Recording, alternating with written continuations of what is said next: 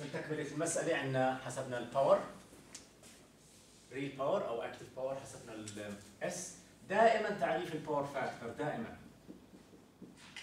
هو ال active power على ال apparent power كأنه نوع من ال efficiency هو مش efficiency أوكي؟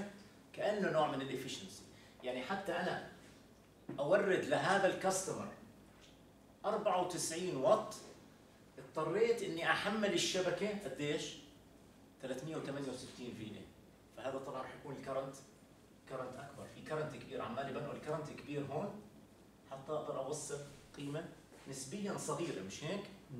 هي مش مش efficiency فيش losses أو رح يصير في losses بس هون هذا الرقم مع هذا الرقم نوع من أنواع ال efficiency فعندي حوالي 95 على 370 قديش بيطلع؟ 1.25 0.25 lagging ولا leading؟ lagging ليش lagging؟ لأن عندنا لأنه inductive load ها؟ فعندي هون 0.25 lagging هل ال 0.25 رقم مقبول؟ أكيد لا. لا. it's very low قديش لازم الرقم؟ يعني أحاول أرفع الرقم. 0.95 أقرب شيء لواحد صعب أجيبه واحد. ممكن مثلا أوصله ل 0.85 اذا فايند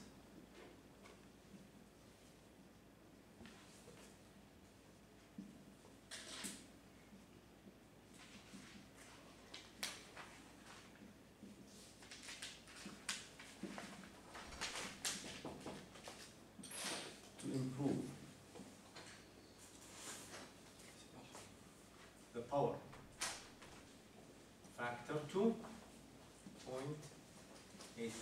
leading ولا lagging؟ lagging خلي lagging ليش رد حوله leading؟ okay؟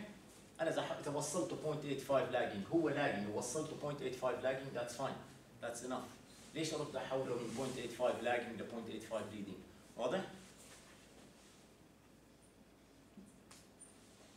يعني بمعنى بدنا نرفعه من 0.25 إلى وبنلاقي قيمة ال capacitor اللي بدنا آه، نحطه عشان نعمل improvement لل power factor من القيمة القديمة للقيمة الجديدة. تمام؟ هلا الفكرة اللي راح تصير عندنا إنه أنا راح أركب capacitor هون. راح نحط capacitor عند النقطة هاي. على مدخل المنشأة. هذا ال capacitor هو راح يزود جزء من ال reactive power اللي بيحتاجه ال inductor ال inductor إحنا بال- بال- بالاصطلاح بنقول ال inductor consumes reactive power. The capacitor supplies reactive power. لو أنا مش حاطط هذا ال capacitor من وين ال inductor راح ياخذ ال reactive power تبعته؟ من ال supply بدل ما يسحب هاي ال reactive power من ال supply بصير جزء من هاي ال reactive power يعمل circulation يجي من ال capacitor إلى ال inductor فال capacitor provides اذا نحط القاعده اللي هون inductive loads هذا convention شو يعني convention؟ اصطلاح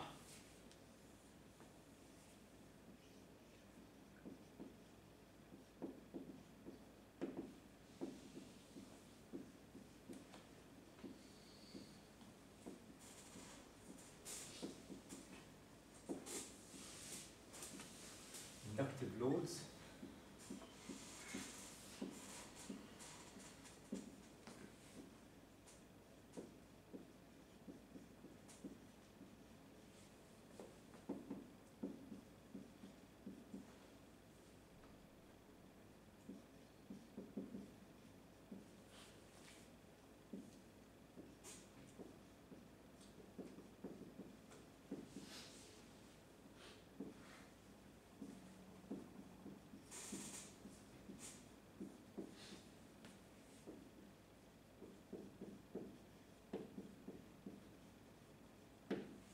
okay هذا اصطلاح convention. Inductors inductive loads consume reactive power. Capacitors capacitive loads produce reactive power. فانا وهذا راح يغنيني إني أسحب ال reactive power من ال source ال reactive power ما راح تمشي هون. وهي راح تخفف من ال losses ال transmission line losses اللي موجودة في هذا ال transmission line okay؟ هلا دائما نحط دائما بنحطه parallel شو كانت ال options الثانية؟ شو كان ممكن أعمل؟ هل كان في طريقة ثانية أغير ال power factor كان ممكن أحط ال capacitor in parallel مع ال inductor. ما بنعمل إحنا هيك بس كان ممكن. كان ممكن أحطه in series مع ال inductor وال resistor برضه ما بعمل هيك. okay؟ لأنه هذا بخرب بال load الأصلي. وال load الأصلي أصلا ممكن ما يكون inductor لحاله و resistor لحاله شو ممكن يكون؟ هل راح أفتح هذا ال load ألاقي فيه inductor على جهة و resistor على جهة؟ لا. احتمال يكون كله distributed في داخله يعني لو فتح- فتحت single phase motor single phase AC motor induction motor ما راح ألاقي inductor محطوط في جهة وأقصه ال component وأطوله وأمسكه وأقول هي ال inductor وفي جهة ثانية أجي ألاقي resistance هدول lumped parameters إحنا هدول موديل للمحرك. جمعنا كل ال inductance اللي موجود فيه وإحنا حطيناه على شكل component بس هو distributed داخل المحرك. فهو أصلا المحرك لو أنا إجيت أو ال load هذا لو فتحته ما راح ألاقي هدول ال components lumped parameters هم distributed okay؟ فما له أصلا معنى إني أروح أفتش على ال inductor وأحط ال capacitor in parallel معه. هلأ في option كان نظريا إني أحط ال capacitor هذا in series مع ال load تمام؟ خلينا نطلع عليه هذا ال option ما دام سأل السؤال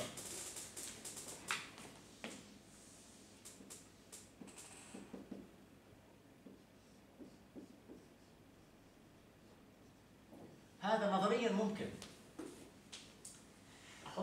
capacitor in series مع هدول وراح يغير ال power factor هل هذا حل مقبول؟ مظبوط. آه بس لأنه لأنه راح ينطرح من ال شو اللي راح ينطرح؟ ال ال- يعني ال impedance ال voltage ال voltage ما راح يجي هذا ما راح يجي ال voltage الصحيح. مش أنا أنا رايح الشبكة وجايب 120 ورحت هون شريت جهاز والجهاز هذا بيشتغل 120 فولت. بعدين بروح بخرب الأمور. بحط ال capacitor in series مع هذا.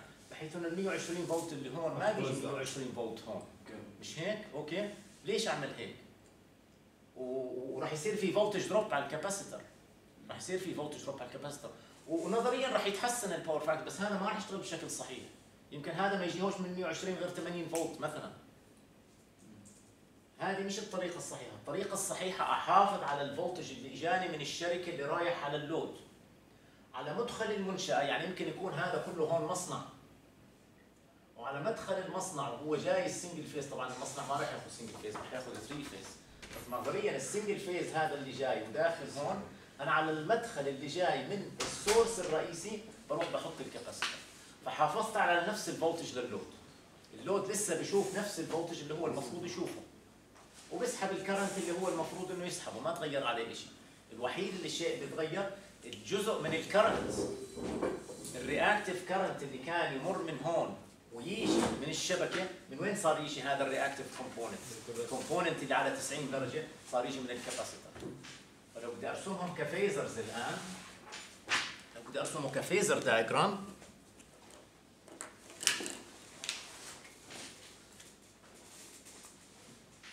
إيش سمينا هذا ال plane؟ phasor plane. وعندي هون real imaginary ال phasors عم بتلف counter clockwise على أي سرعة؟ أوميجا.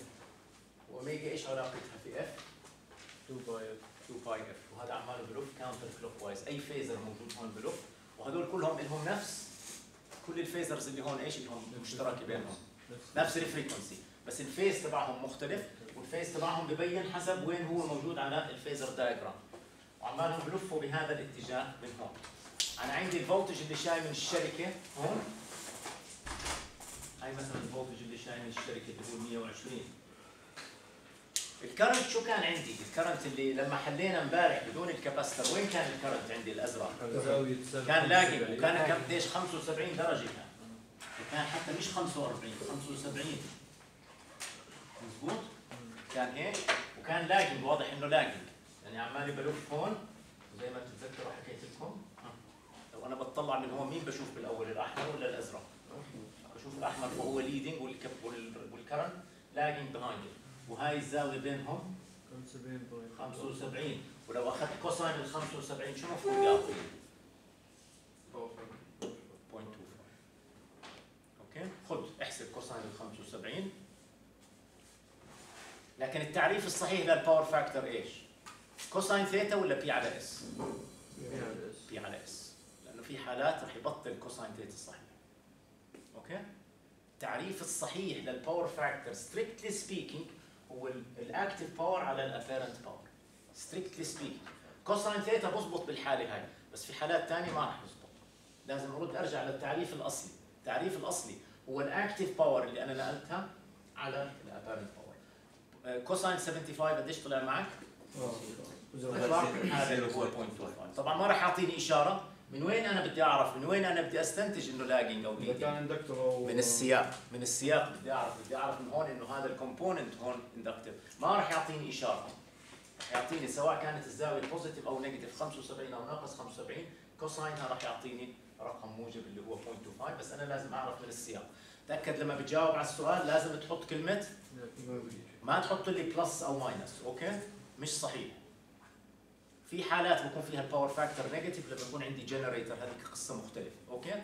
بس ال power factor عمره ما بيكون أكبر من واحد بده يكون هون بهاي الحاله هذا ال load دائما positive طيب اذا نطلع من هون. الفكرة اللي أنا كنت بدي أحكي لكم إياها هذا ال current مش أنا بقدر أحلله ل two components آه. شو هم ال two components imaginary. real و imaginary okay؟ فبقدر آجي الآن آجي امد خط مقطع من هون وخط متقطع من هون وأقول والله هذا ال current هو عبارة عن two components real و imaginary. مين ال component اللي أنا مضايقني واللي بدي أخفف منه؟ مين راح يساعدني بإنه ياخذ جزء من هذا ال current وهو يزودني فيه ال capacitor؟ هل راح ياخذه كله ولا جزء منه؟ جزء. لو إني أنا بدي أرفع ل 1 بدي ال capacitor to deal with all هذا ال component كل هذا ال component طب هذا ال component إيش عم بيعمل لي؟ هذا in phase مع مع ال voltage. اذا هذا ال current شو عماله بنقول لي؟ ال active ال active power ممتاز. okay؟ هذا ال component هذا. ضرب هذا. عم بعطيني ال active power هيها cosine theta ما أنا لما بضرب هذا في cosine theta أي component بعطيني. هذا. ولما بضربها ب sine theta أي component بعطيني. هذا. okay؟ فإحنا قلنا في الحالة هاي بيساوي في ار ام اس اي ار ام اس كوساين ثيتا ما بين V و I تعطيني هذا ال component هذا ال component الصغير هو in phase مع هذا إذا ضربتهم بعطوني ال power اللي أنا عم بعمل هذه الريفولت إذا أخذت هذا ال component وضربته ب V بعطيني ال reactive power أنا ال reactive power بدي أخفف جزء منها. شو يعني بدي أعمل؟ بدي آجي أقول خلي ال capacitor مش كله. فهذا راح يكون افضل منه هذا هو ال current ولاحظوا هذا ال current اللي عم بسحبه ال capacitor. شو ال phase angle علاقه ال phase angle بينه وبين 180 درجة. فلما يكون عندي two sinusoids بينهم 180 درجة شو بيعملوا ببعض؟ بيلغوا بعض. okay تمام؟ هاي فكرة هاي بس مقدمة عشان نشوف هلا طريقة الحل اللي بدنا نمشي فيها.